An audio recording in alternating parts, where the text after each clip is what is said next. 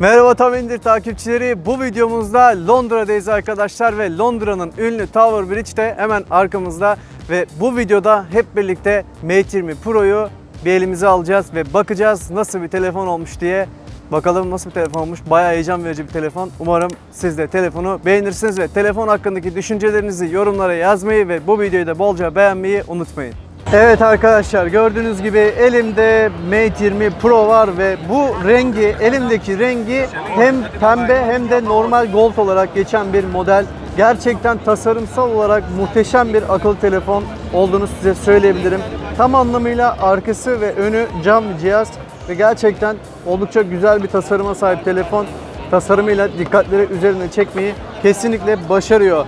Şöyle hemen inceden notlarıma bakaraktan sizlere anlatmaya başlamak istiyorum. Cihazda 6.39 inçlik oldukça büyük ama ekran kasa oranı çok çok iyi olan bir ekran bulunuyor. Bu ekran arkadaşlar HDR OLED bir ekran ve ekranın şu üstünde bulunan çentiğinin milimetrelik olarak genişliği 32.8 milimetre.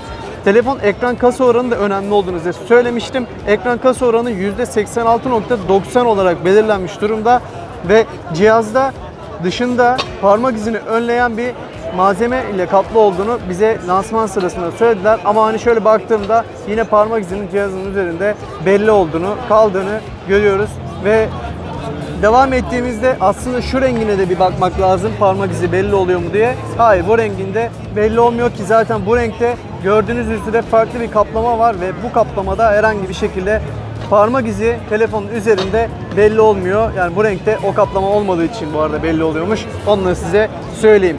Bu arkada kullanılan malzemenin adı da hiper optik yüzey olarak geçiyor arkadaşlar ve telefonda işlemci olarak Kirin 980 kullanılıyor. 128 GB'lık bir depolama hafızasına sahip ve 6 GB bir RAM ile geliyor.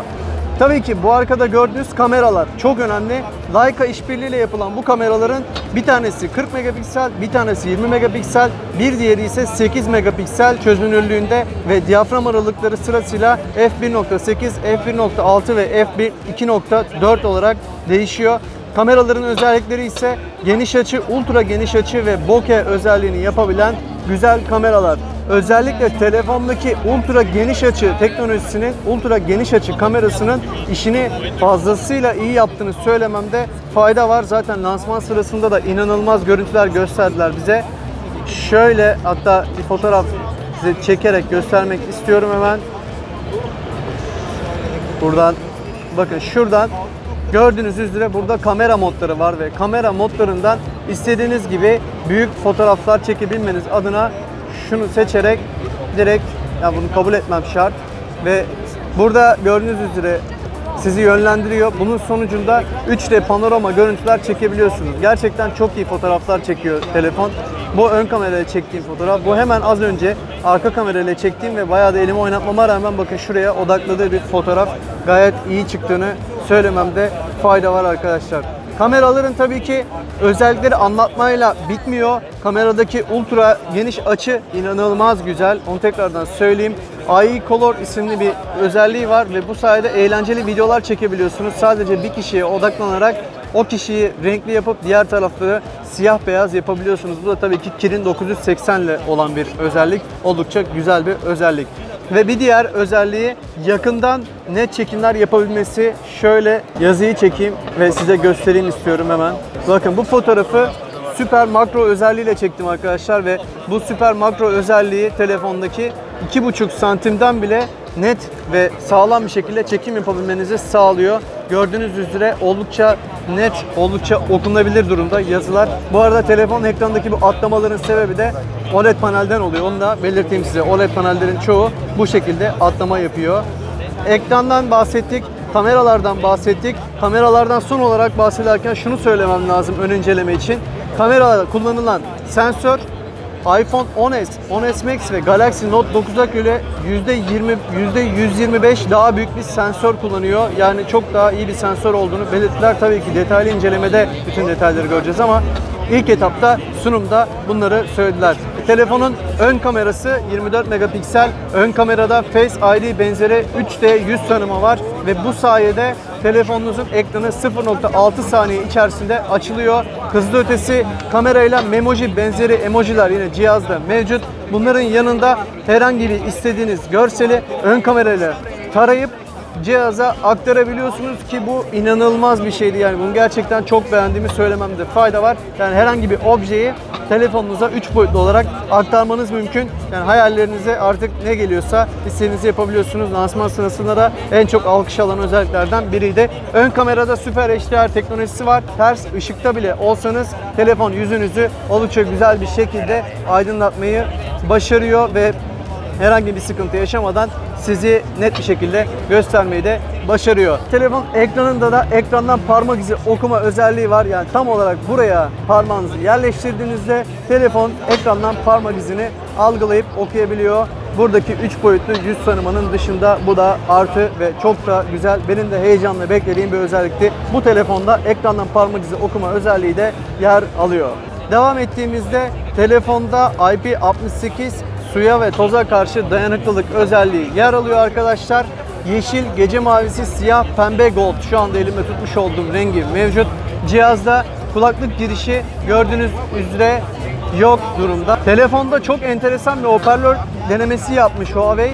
Şurada bir hoparlör var. Type-C girişinin içinde ve diğeri de telefonun üst kısmında yani şurada Aizen'in içinde yer alıyor. Gerçekten değişik bir deneyimi olduğunu söylediler. Çok da iddialılar ama henüz şu an burada denemem mümkün değil. Çünkü burası oldukça gürültülü bir yer arkadaşlar. O yüzden bir şey söylemem zor. Devam ettiğimizde telefonda nano memory kart var. Bu Huawei tarafından geliştirilen ve birinci nesili olarak yer alıyor telefonda. İsterseniz telefon çift sim kartlı, isterseniz de bir, bir tarafına sim kart, diğer tarafına nano micro SD kartı takarak telefonunuzu kullanabiliyorsunuz. Süper ötesi hızlı şarj teknolojisiyle 40 wattlık adaptörüyle telefonu 30 dakikada %70 şarj edebiliyorsunuz ve bu şarj tabii ki TÜV tarafından da onaylı. Almanlar bunu kontrol etmişler ve telefonda herhangi bir sıkıntı olmayacağını söylemişler.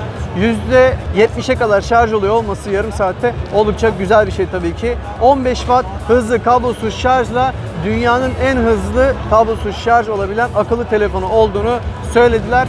Ve bu telefonda enteresan bir özellik var. Ya buna gerçekten lansmanda da güldüm. Şu anda da yine tekrar gülesim geldi iPhone'u şarj etmek için de bu telefonu kullanabilirsiniz dedi Huawei CEO'su. Neden bunu söyledi derseniz de telefonun arkasına yerleştireceğiniz herhangi bir akıllı telefon kablosuz şarj olma özelliğine sahipse bu telefon onu da kablosuz olarak şarj edebiliyor. Değişik bir özellik ne kadar kullanılır bilmiyorum ama gayet güzel bir özellik olduğunu da söylememde fayda var.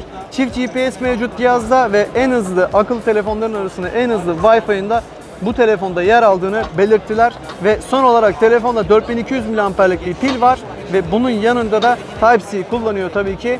Yani telefonda arkadaşlar inanın anlatacak çok çok çok fazla şey var ve çok çok çok da ilgi çekici özellikler var ama ön inceleme videosu için şimdilik bu kadar yeterli diye düşünüyorum. Siz telefonu nasıl buldunuz? Telefonun bu arada Avrupa fiyatı 1049 Euro olarak belirlenmiş durumda ve bugün itibariyle de piyasaya çıkıyor. Avrupa'da ülkemizdeki piyasaya çıkış tarihi ve fiyatı henüz belli değil.